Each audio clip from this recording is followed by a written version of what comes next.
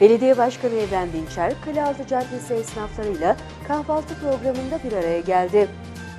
İstişare kültürüne katkı sunmak için ziyaretlerini sürdüren Başkan Dinçer, Kalealtı Caddesi'nde bulunan esnafların iş yerlerini ziyaret etti, esnaflarla kahvaltıda bir araya geldi.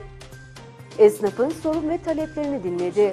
Yani yıllardan beri süre gelmiş sorunlarımız bunlar.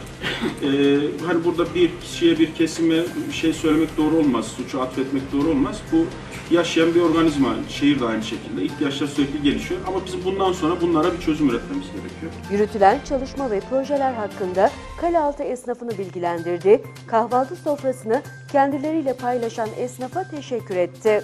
Dışarıya da dışarıdan gelen kişilere de reklam açısından güzel bir hizmet binasına kavuşması bizim için elzem. Bu noktada arsa tespitiyle ilgili çalışmalarımızı yaptık. 2-3 alternatif içerisinde bunu değerlendirdik. Kısa zaman sonra da bunu sizinle paylaşacağız. Şu an e, yapacağımız proje üzerine çalışmaları sürdürüyoruz. İnşallah en kısa zamanda e, bunu e, daha somut hale geldikten sonra, ete kemiğe büründükten sonra biz vatandaşımıza açıklayacağız. Biz de-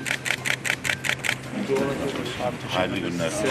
Allah razı olsun cümlemizden sağ olun. Hadi Allah'a ısmarladık.